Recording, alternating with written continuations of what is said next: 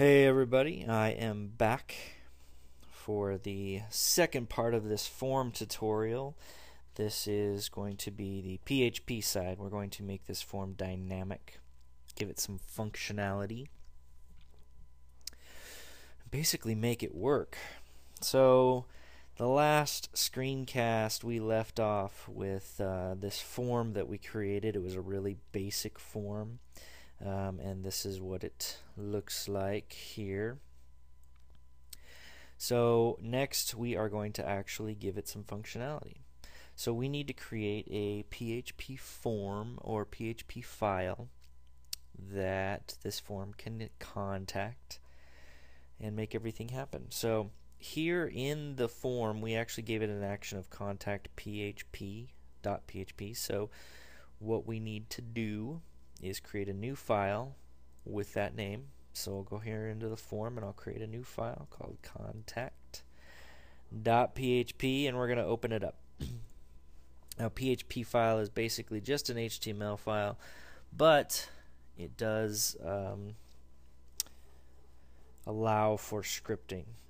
So we don't need any of this information in here, so we'll just delete it. And we're going to start by opening up our PHP. So we're going to do an opening PHP tag and a closing PHP tag.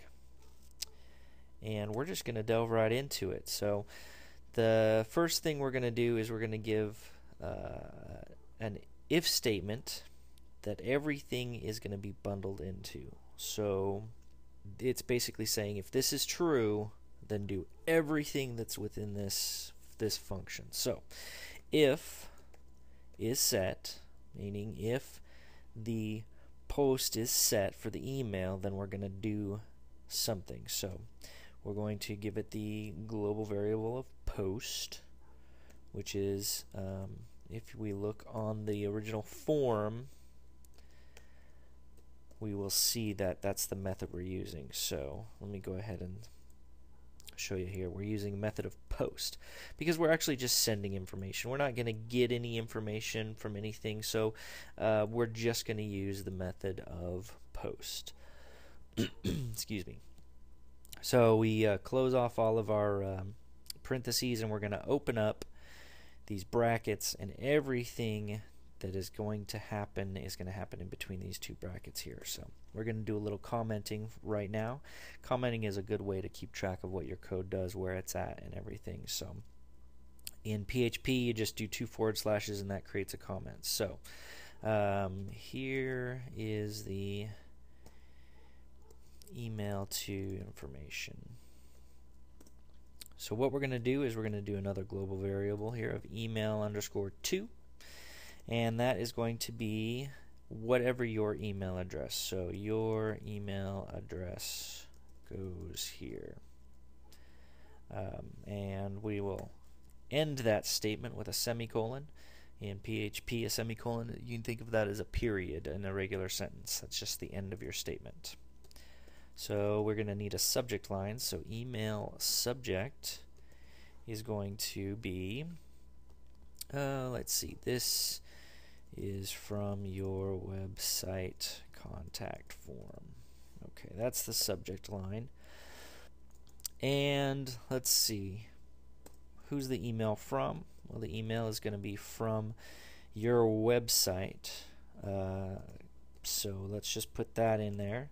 So from J Design in Motion, which is my website, obviously, and end that. All right, so next step we're going to go through is we're going to do some error code. So error code. We're going to create a function, died function, and that's going to have a variable of error in it. And then everything that happens in the function happens in between here. So if we get an error, it's going to echo out this message.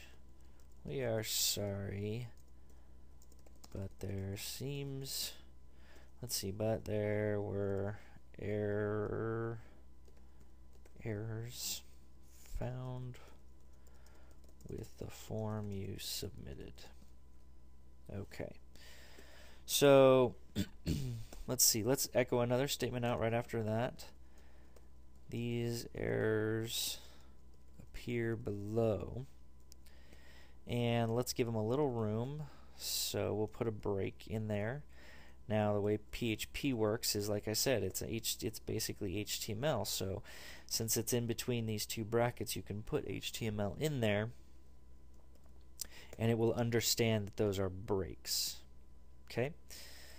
So we want it to echo out the errors. Okay, so we need to echo out the errors. Oops. And we do that with this with this um, variable. And then we're going to give it a period. This is con called concatenating. It's basically like adding. So uh, we're going to put uh, a couple breaks here. And that's going to be breaks uh, so that the next message we give, there's some good space and padding between that. So the error message plus these line breaks. And then we'll echo out one more message. Please go back and fix these errors. And we'll give it one more break. And that is our error messages. And then what we want to do is we want to put this little function in here, die. This basically says stop everything. Exit the script until they go back and do it, fix it. So let's go ahead and put some validation in here. So validation.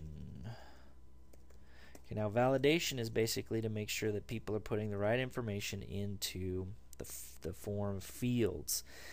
So first off, we want to validate that there's actually even information in these fields. So we're going to put an if statement.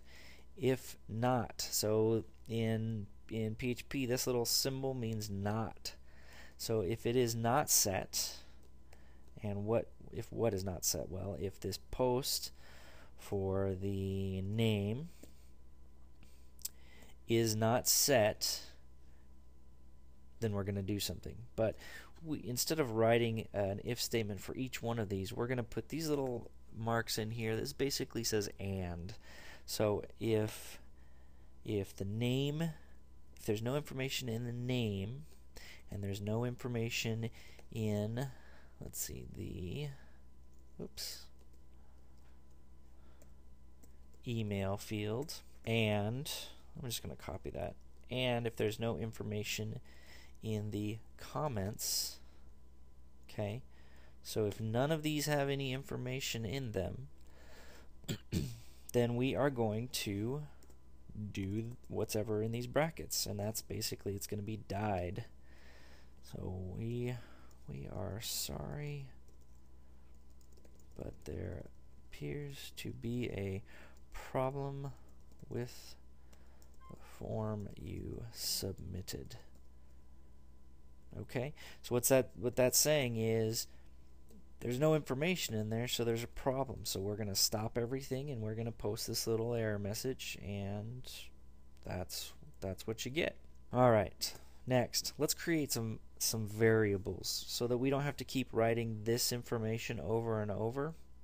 Let's go ahead and create some variables for these. So let's do the first variable. We'll call it name, and that name is going to be equal to, oops, to name. And I can actually just copy that, paste it twice, and we're going to change this one to email, and this one to email, comments, and comments. Okay, so let's go ahead and give some expected strings. Basically, what what the, we're going to do next is we're expecting a certain type of information to go into each field. So we're going to, this is a way for us to say this is a valid email address or is a valid name.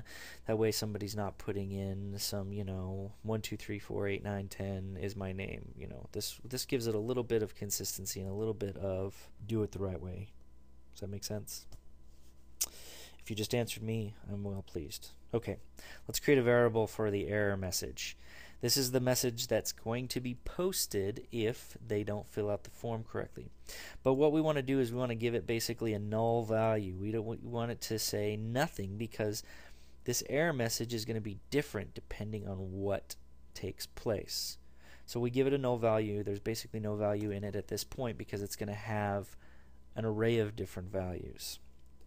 And those will come along here soon. So let's create another variable here, email expected. This is this is the information that we expect to be in the email field. Okay, so I'm going to do an open and closed single quotes, and in there we're going to put this little uh, forward slash, and we're going to put a caret. Now, a caret is basically letting us know that there's a mathematical function about to take place. Basically, what it's doing is it's taking all the variables that we're about to put in, and it's, and it's giving all the options. So we're going to go ahead and open a bracket, and these are the things it's going to look for. It's going to look for A through Z in capital letters and A through Z in lowercase letters and 0 through 9 we're going to look for a period, underscore, percent, and a hyphen.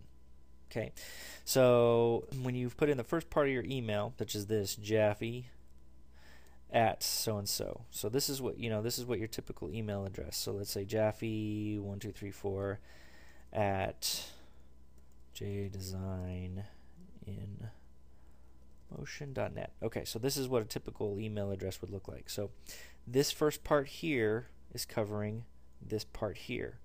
What we're allowing is anything, so if I wanted to capitalize, you know, if I capitalize that, then it's okay because it knows to look for capital letters, lowercase, and 0 through 9, plus these other numbers. So now we add an at sign because there's always going to be an at sign in an email address. And we're going to give, again, A through Z, A through Z, and 0 through 9, and a period and a hyphen. That, gives us this information right here. So it's looking for this right now. And we'll close off that bracket. Okay. And then we're going to add a period because there's always a period. Now we need the period to be uh, behind this little slash. That way it's not thinking that we're concatenating this slash basically strips it so it, it's it's removing the scripting in there. So it's just seeing that as an actual period and that would be that period right there.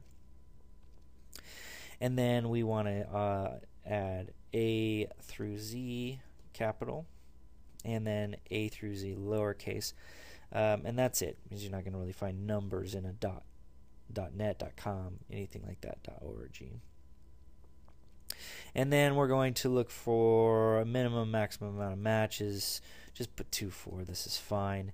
And then we are using the dollar sign to end this string. And we're going to use that forward slash to put an end to it all. And that is is basically what this variable now is. Email expected is going to be all that information. Okay. So now we need to create an if statement. If, and we're going to use the not again, preg match. Basically, what this is saying, if it does not match these two fields, if the email expected and the variable we created of email, so if this information doesn't match into this variable, then we are going to create an error message. And that error message here, we'll, we're going to pull that variable up, which we created up here. Error message. We gave it a null value. Well, here we're actually going to give it, we're going to put that period in there, and we're going to give it its own value.